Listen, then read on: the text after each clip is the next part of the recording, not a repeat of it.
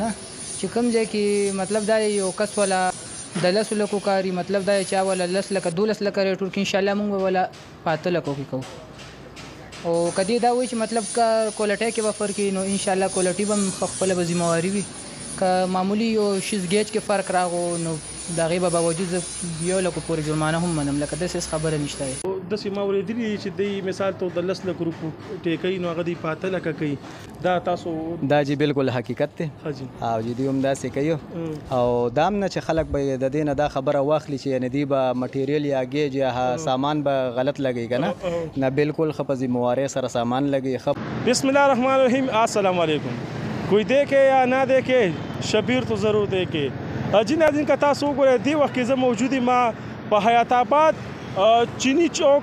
روډ سره موجود یم دلته زموږ یو ملګری دی هغه له موږ وزټ کړی راغلو هغه په دې ګرانه ګرانه کې یو پیکج د عوامو لپاره ورکړی دی چې هغه داسې پیکج دی خو هغه دا خبره کوي چې مثال ته په دې ګرانه ګرانه کې یو سړی لس لک روپو ټیکه کوي نو هغه په لزه پاتو لکو کومه او که یو سړی په 15 لک روپو ټیکه کوي څوک ول بل کوي نو هغه په لزه په 4 لک روپې کوم که سړی لک روپې باندې ټیکه کوي نو هغه به زه په اتیا زره کوم نو دا پیکج دی دا په دې ګرانه ګرانه کې د عوامو لپاره نو راځي نسیم خان لا مونږ وزټ کړی دی نور خبرې به مونږ نسیم خان سره کوو راځي مونږ سره اوسئ کوم السلام علیکم وعلیکم السلام تاسو د مونږ راغلی دلته پېښور ته چاره ته ډیر صفت هم تاسو د دې ځای کړی دی چیرې د دې د پیکج د خلکو لپاره ورکې دي ټیکدارانو لپاره او په دې ګرانه ګرانه کې نو هغه څه پیکج دی چې تاسو د خلکو لپاره ورګوي بسم الله الرحمن الرحیم ټولو نه مخکې خو تاسو ډیره مننه کوم چې تاسو دونه وخت موږ له راکو الله مو خوشاله او بس پیکج دار چې مطلب دار کم یو ګاک وی هغه کار کول غواړي کنه چې کم ځای کې مطلب دار یو کس ولا د لس لکو کاری مطلب دا چې ولا لس لکه دولس لکه ریټور کې ان شاء الله موږ ولا په اته لکو کې کوو او که دې دا وایي چې مطلب که کولټۍ کې به فرق وي نو انشاءالله کولټي به هم خپله به ذمه واري وي که معمولي یو شیز ګیج کې فرق راغو نو د هغې به باوجود زه یو لکو پورې جرمانه هم منم لکه داسې هېڅ خبره نشته دی او ښه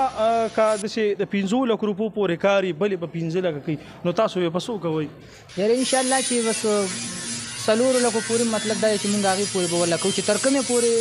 مونږ به حالت ته ګورو لکه مونږ چاله زور نه ورکو کنه د وسخ وخت ګرانی دا کنه لکه دا چې کوم خلک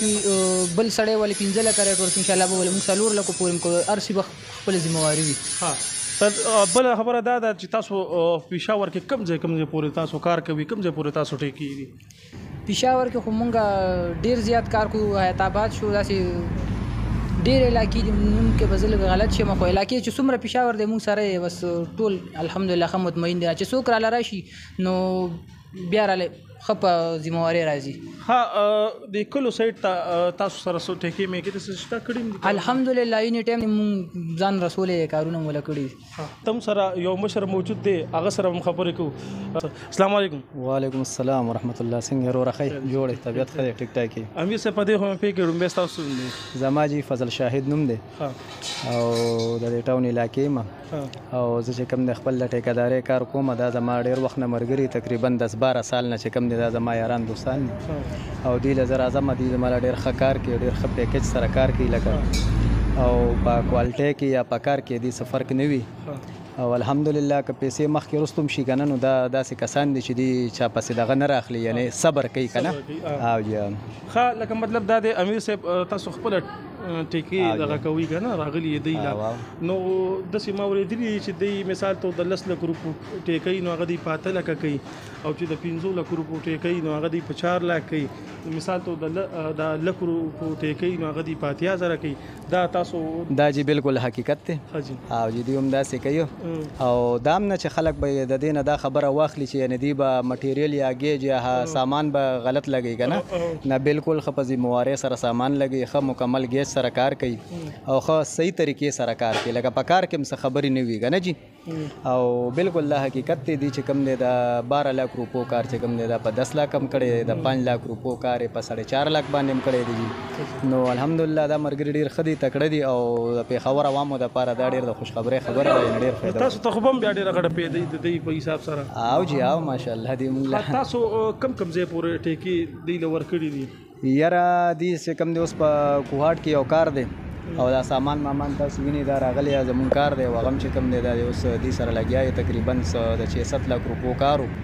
او دی په 5 لک په 5 لک کنه 5 لک روپې باندې دی مرګري چې کوم دی وسره خبره کړې ده او بس دا یې لګیا یې دکان کې وګوره دا ډیزاینینګ میزاینینګ تاسو وګوره بس دا لګیا دی کار کوي هغه ښه امین صاحب دا نور تاسو د حیات آباد کې یا پېښور کې نور علاقو ملاقو کې تاسو ټیکې میکې کړي او جی او حیات آباد کې کړي ټاون کې کړي دي د خپل علاقې کې پښتخر چوک کې کړي دي او نو نو تاسو سوې چې یاره دا کوم ټیکداران دي لا چې کوم ټیکې دی لورګي نو هغه ته تاسو سوې ته خپل ټیکدار هغه ته تاسو نو بس زه خو خپل ټیکداران ورونو ته هم دا ویم چې دا ډیر خپه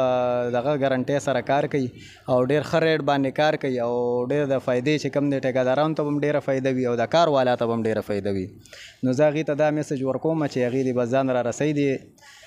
نسیم خان ورور لا او چې څه کار وي څه خدمت وي نو راځي دي او دی به ولا کار کوي خیر ان شاء الله ډیر مهرباني بل خبره دا کوم مرګي په دې ویلډینګ کې تاسو د دین علاوه نور څه کار کولې شي دی ویلډینګ کې کوم کوم کاری نو هغه زم دی قهوه محترم مخې ته کې. یاره الحمدلله ویلډینګ کې خو هر قسمه کار کولی شو لکه مطلب دا سټیل شو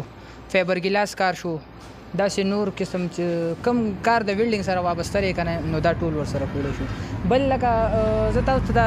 یو دروازه خیم دا چې کوم ډیزاین دی دا ټول دا د لرګي ډیزاین دی خو لکه چې د لرګي په هغه چې دې ته حساب وکړي کنه نو کم از کم 20000 نه ولا تر 25000 پورې په دې